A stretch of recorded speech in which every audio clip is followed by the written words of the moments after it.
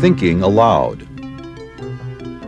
Conversations on the leading edge of knowledge and discovery with psychologist Jeffrey Mishlove.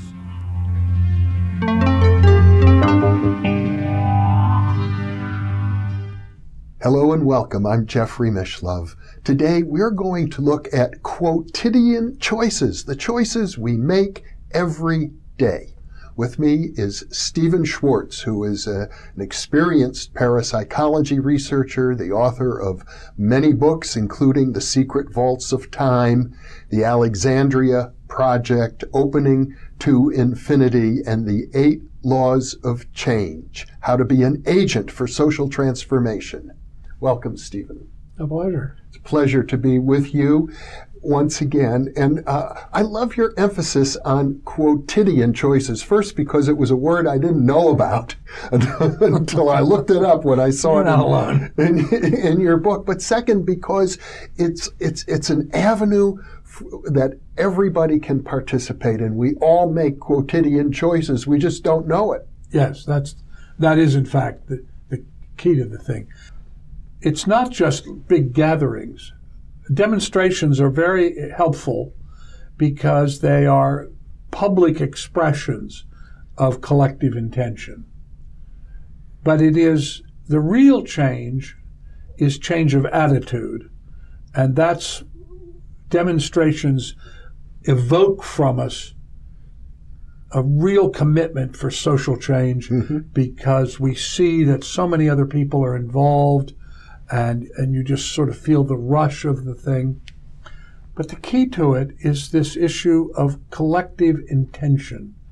And it gets expressed not just in big meetings, but just day to day. Mm-hmm. And I discovered as I did the research on social transformation that, and I can give you some examples of this. In fact, let me give an example to make my point. You know, the difference between gay and LGBT Yes.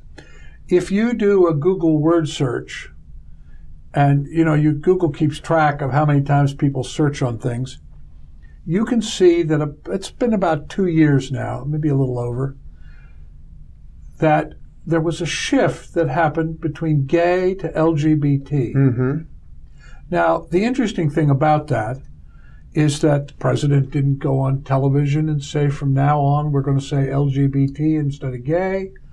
Nobody passed a rule. The Congress didn't speak out on it. Quite the contrary.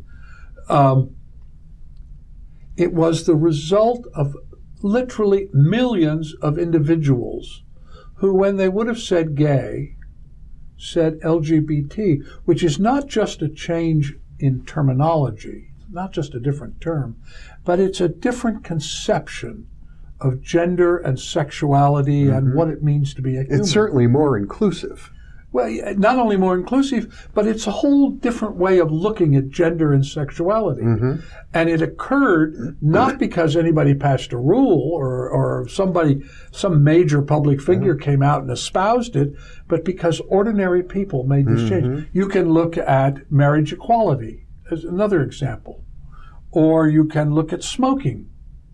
You know, it's not illegal to smoke. Right. And yet, only about 11% of us do smoke. Well, it is illegal to smoke in, indoors in many yes, in, places. now, but I mean, not here it, in Nevada, but yes, but I mean, it places. didn't. It wasn't something that happened because they passed a law right. about it.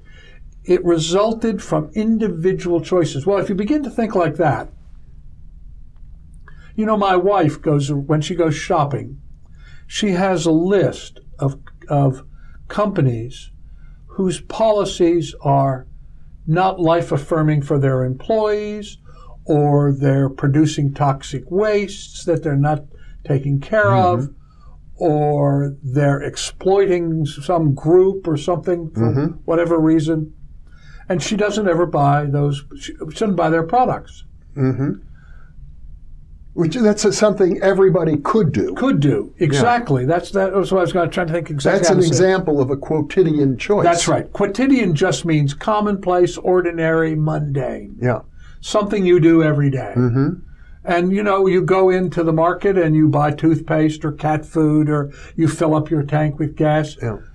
Do you know anything about the company? Do you know anything about their way they treat their employees? Do you know about their environmental policies? Probably not, because we don't ever think in that term. But if you think about every choice that you're making is essentially a kind of vote. And if it's a financial transaction, you are voting either to support the policies of one company or not support them. Mm-hmm. And so out of that came, I, I developed from the research the quotidian pledge. And I tell people this, and it seems almost unbelievable, but we have to add one more part, and that is Van Rensselaer Polytech Institute did a lot of research on how many people does it take to produce change. Mm. And the answer to the question is it takes 10%. 10%. 10%. of Whenever any- 10% of a cohort, whether it's a schoolroom or a church group or a community or a nation, Mhm. whenever 10% change their consciousness about something, the whole cohort tips. Mhm. And so I say to people, and I will say to the people who are watching this, Mhm. Which ultimately will be thousands. Yes. And those thousands, those of you who are watching this, seeing this, you can change the course of history. You don't have to have an army. You don't have to have a lot of money. You don't have to have an official position. Here's all you have to do. Every day you are faced with thousands of choices. We just do it in the normal course. Mm-hmm. Become aware you're making a choice. Educate yourself as to what that choice means. Of the choices that are available to you in that moment, consistently and always choose that option which is the most compassionate and life affirming. Now, none of them may be perfect, but inevitably, one is always at least a little better, a little more compassionate, a little more life affirming. And if you will make that choice, today I make this pledge. From now on, I will be A, aware that I'm making a choice. B, I will educate myself on what my choices mean. C, that of the options that are presented to me at that moment, as I understand it in that moment, not as I might have it a, a year ago or that I may a year in the future, as I understand it in that moment, I will consistently choose the option that is most compassionate and life affirming. I will tell 10 people that I am doing this as a discipline. I will invite them to join me, and I will ask them that they in turn ask their friends to also join them. Mm-hmm. So let's just say, I don't know, you have 10,000 people that are watching. Okay. So 10,000 people start. Well, then it becomes 100,000. Mhm. Then it becomes a million. Then it becomes 10 million. Then it becomes 100 million. We have to get 31.8 million people to change their consciousness.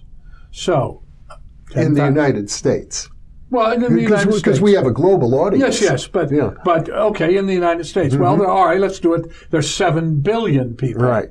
So it takes. 700 million, and we're almost there already. That's right. Mhm. So so we start we start with ten thousand, a hundred thousand, a million, ten million, a hundred million. That's five leaps. Yeah. Well, at that point, in fact, at four leaps, you've already, if it's just 10,000 people in the United States, you've already changed the consciousness of the United mm-hmm. States. And when you look, when you actually read about people who make these changes, I'll give you an example. You look at the Quakers. Yes. In the United States today, there are about 87, less, a little bit less than 87,000 Quakers. A very small religion. It, well, it's so small, most people have never met a Quaker, have no idea what they believe, Mhm. don't know anything about them. And yet, if you, and, and in the entirety of American history from the colonial period forward, there have been less than 500,000 Quakers. Mhm. And you'd think this group is so small, how could they possibly make any difference? And yet, when you look at every major progressive, compassionate, life affirming, wellness producing trend abolition, women's suffrage, penal reform, public education, nuclear freeze, the environmental movement, marriage equality what you discover is that that movement began with a tiny little group of Quakers. Mm-hmm. And so this little group of, of people who are so small that most people have never met one and will never meet one have, over the course of American history, created as have been the in, the instigators of the major compassionate life affirming mm-hmm. social changes that have made America America. And they've done it, as you say, by making small choices These every day. little choices. They live the choices. You know, I like this idea uh, because William James, in his essay on ethics, says, well, we can divide you ethical decisions into what he calls the strenuous mood and the easygoing mood. Right. And and it's the strenuous mood will always uh, do better than the easygoing mood, but the strenuous mood to me seems like too much effort for people. And what you're talking about here is kind of a balance Yes. between them. It doesn't, you don't have to strain and stress to do this. You just have to be conscious to make your Yes. choices every day. Exactly. It's, so it's a little bit more than easygoing, but it's not, it's not a huge burden on anybody. No, it's just this is a matter of of basically seeing these choices as votes. Mm-hmm. Do I want a a society which supports wellness and well-being or do I want a society that has profit as its only social priority? And to give you an idea of what one person can do, just I, I, this is just one. Think about Thoreau. hmm Henry David Henry Thoreau. David Thoreau sitting next to his little pond, Walden Pond. I've actually been there. It's just, Yes. it's not a lake, it's a little pond. Yeah. Sitting next to his pond, he writes an essay called Civil Disobedience. Yes. Mahatma Gandhi reads that essay. That's the basis upon which he builds the entire movement that got India independence without a war. hmm The only time in history that I know of that that's happened.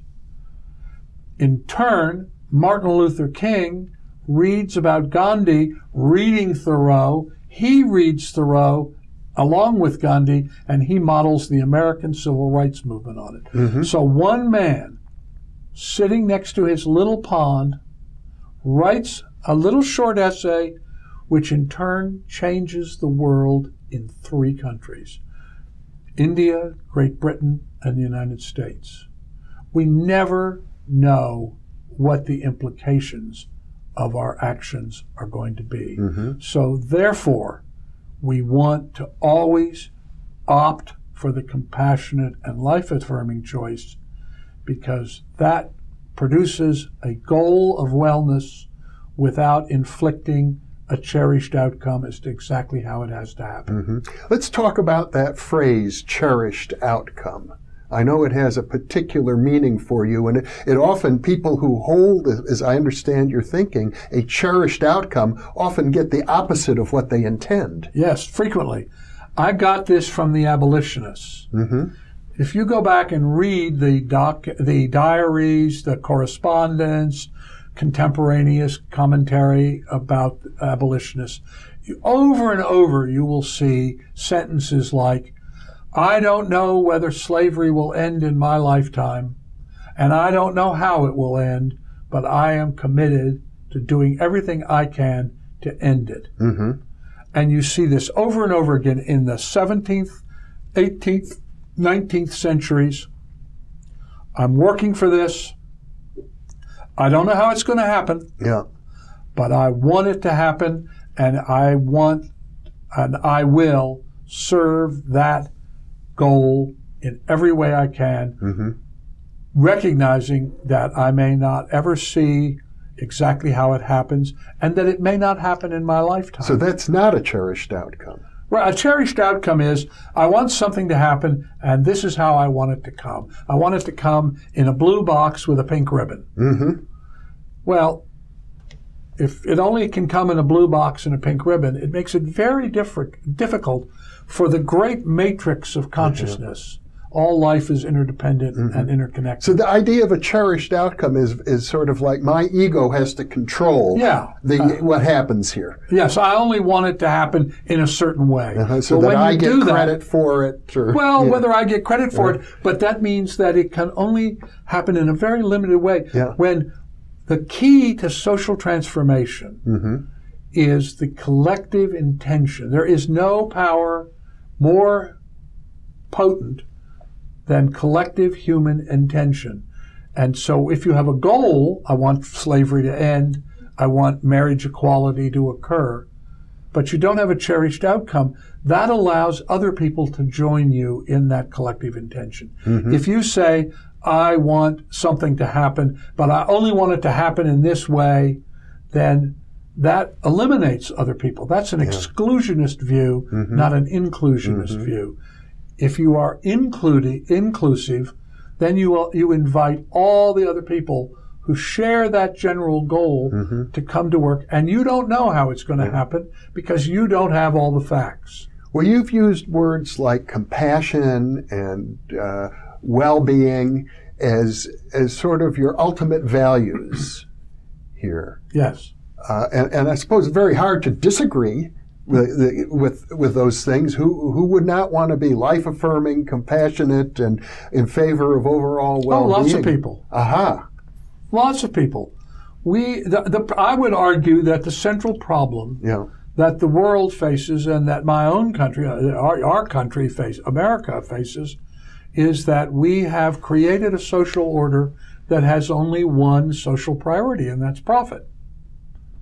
And so, Well, If- certainly that's what the capitalist system is, is based well, on. that's the way the system operates. Yeah. Is- I mean, you know, we just rescinded a rule in, con- in the American Congress that uh, during the Obama administration they passed a rule that you can't that coal companies cannot dump toxic waste into valleys with streams, and they have rescinded that. Yeah. Now the effect of that's going to be that it's it's going to adversely affect the health not only of all the humans that are, that have contact with that water, but all the other beings on the planet Yeah. that have contact. Well, with and. I imagine their justification for a decision of that sort is it, it, this will create jobs. yes, Uh-huh. which means we will get more profit. Yeah. In fact, when you actually look at the social data, what you discover is that those social policies, which are compassionate and life affirming and fostering of wellness, mm-hmm. and I cannot find a counterexample, mm-hmm. those that are compassionate and life affirming are always cheaper, more effective, more efficient, more productive, easier to implement, nicer to live under, and more enduring. Mm-hmm. Well, I know that you, like me, uh, consider ourselves social progressives. And and uh, when you use the phrase life affirming, it's often associated with the uh, pro life movement, uh, who are uh, not considered part of the social uh, progressive camp typically. Well, that's just a distortion of life affirming. Uh huh. I mean, I, I, what I what I usually say is wellness or well-being, Yeah. And by that I mean just what you think I mean. And mm-hmm. people are healthier, happier. I, it, it's and it has huge implications. For instance, in San Francisco, they began building shelters for homeless people. Mm-hmm. Now there was a lot of freaking out. That, oh my God, this is so expensive. It's going to be terribly expensive. Blah blah blah blah blah. Yeah. Well, the actuality is that it turned out to be millions of dollars cheaper. Why? Because people who had a safe, clean place to live had fewer medical emergencies. They mm-hmm. went to the emergency room mm-hmm. less. They needed less social services. Yeah. They needed less care of a whole spectrum of things. Mm-hmm. When we make well-being fostering choices and policies, we produce outcomes, social outcomes, which are cheaper, more efficient, more effective, and and this this the arguments that you see against these things. Oh, well, that will be too expensive. Or, or I often hear the argument that uh, certain people's behavior is immoral, they should be punished, they shouldn't Yes. be rewarded. Right. And so we're going to punish all those people who abuse drugs by not allowing them to get clean needles. And as a result of that decision, we are going to assure that the incidence of hepatitis C and AIDS and a host of other illnesses will f- will flourish and that we'll face millions and millions of dollars of of health costs Yeah. that will be borne by the general public. Well, some people feel, and I think I, ha- I have a feeling that it, uh, to some extent, it's based on what uh, Timothy Geithner called an Old Testament uh, Yes. A- attitude that that it's more important to be right and to punish those who are wrong than to be concerned with the general welfare. Well, we're not being right, but you are. I think he's correct, or your- your statement of it is correct. There is a need to feel superior to and to punish. Mm-hmm.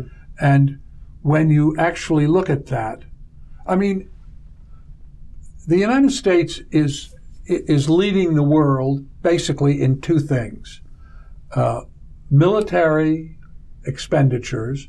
We spend more on our military than the next seven high spending countries in the world combined. Yeah. So we're spending this vast amount of money, which means that we don't have money for lots of other things.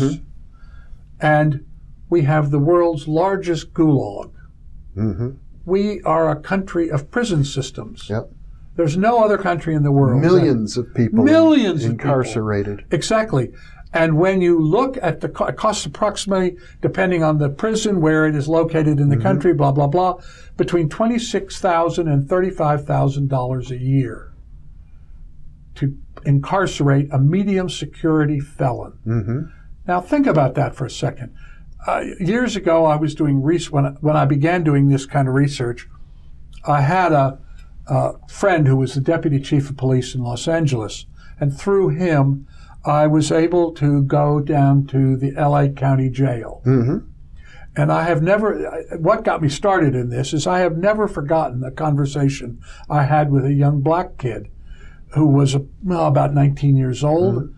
And I, I talked to this young man for probably half hour, 45 mm-hmm. minutes. And I, I realized he was very bright. And I said, What in the world are you doing in jail?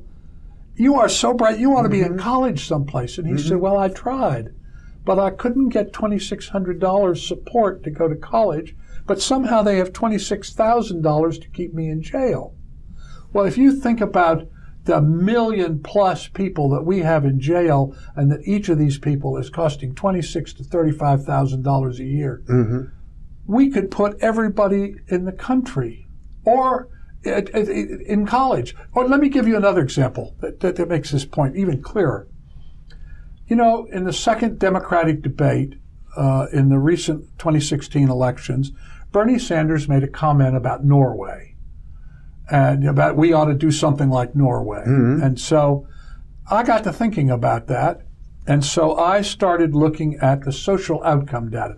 My real interest is social outcome data because I'm not interested in your theory or your speculation or your supposition about how. What I want to know is if you do this, what happens? What what does the data say? Yeah, what does the data say? I'm a data person. Yeah. And so uh, if you look at it, now here's the story Norway ranks 11th in the world in terms of healthcare systems, according to World Health Organization. So they're not the best, Yeah. not the best, Mhm. 11th. Mhm. They spend uh, uh, 7.6% of their GDP on healthcare. Mhm. We spend um, 18, 17.6, 18% of our GDP, and we have a healthcare system that ranks 37th. We have the highest maternal mortality Yeah. of any developed country in the world. Mhm. Suppose we could get to 11th and spend the same proportion of our uh, GDP as Norway does to get there. So America is now going to try to be 11th best, not 37th. Okay. And we're going to spend 7.6% of our GDP for healthcare. What would that mean? Well, what that would mean is we would free up approximately $1.3 trillion a year. $1.3 trillion a year would send all kids to college, would take care of elder care, and would provide all the needed prenatal care. And, a lot more. Oh, and a lot more. I'll give you another Yeah. example. We wouldn't need to pollute our streams. Exactly. Well, I, I mean, yes, but uh, I'll give you another example. Uh-huh. They started in Finland, and now a number of other Scandinavian countries do this. When a mother has a child, she doesn't have to do this, but she can if she wants. She can apply for what's called the baby box. Mm-hmm. And the baby box is a cardboard box that has a little mattress, and it has everything a child needs for the first year of his life. Mm-hmm. What happens when you do that? The little box costs $76. Now, they started it at a, hos- at a, at a hospital in, New, in uh, St. Louis, and now the state of New Jersey is going to do it. Mm-hmm. The estimate is that they will save $57,000 a year in, in early child health care as a result of that little $76 box. Mm. So we're going to put 76 out and we're going to save 57,000. You mean for each single box, the savings is Yes. that great? yes. That's like a thousand-fold savings. Yes. Mm-hmm. And I can I mean there's endless Yeah. examples. That's the thing when you start when you start thinking in terms of wellness and well-being and developing social programs that have well-being. I- I'll give you another example. The city Chattanooga, Tennessee Mm-hmm. decided that they wanted to make sure that everybody had high speed internet access. And they chose to do it not through a, by making a contract with a private corporation like Comcast, but by doing it through a locally owned, cooperative, community owned electrical system. Right. EPB, EPB. Rather than doing it, Mhm. making a contract Right. with Comcast. hmm So they weren't supporting the capitalist economy. Yes, they were. What their goal was, a well-being. Some they kind wa- of a collective. They wanted to produce um, high-speed internet for everybody at a reasonable price. Mm-hmm. So they decided. What does that mean? Well, they decided one gigabyte of download speed. That's very fast. that means you can down. Uh, the average movie on Netflix Yeah. is three to five gigs. So that means that you can download a movie in three to five. It's about a hundred times faster than we have here in this building. Yes. Mm-hmm. Well, the, the the average in the United States, I mean, that's uh, Mm-hmm. several hundred times over the, the, the entire United States. Anyway, so they they passed this rule and they decided sixty nine dollars would buy you one gig, Mm-hmm. and if you could prove financial need, that would be as low as twenty dollars. Yep. So they implemented this policy. What happened? They did not plan for. When they instituted it, then suddenly they realized that all these millennials were moving into downtown Chattanooga, which was dying. Mm-hmm. And suddenly there were all these new businesses because the businesses came because you could get this high speed internet. And then their restaurants developed in order to service the people who used the high speed internet who had moved there.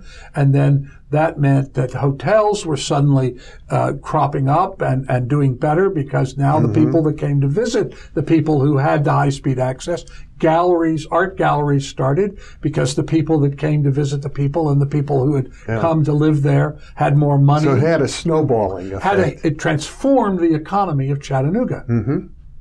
And it was just this one, and it was orders of magnitude cheaper than the alternative that was being ordered for Comcast to such a degree that Comcast sued, claiming unfair favoritism on the part of the Chattanooga go- city government, mm-hmm. precluding them from making their profits. Yep. So every time you do something that is compassionate and life affirming, productive of well being, you not only get the benefits you think you're trying to get, the, the goals that you're trying, but you get a whole raft of unintended consequences that you don't even know about, don't even anticipate.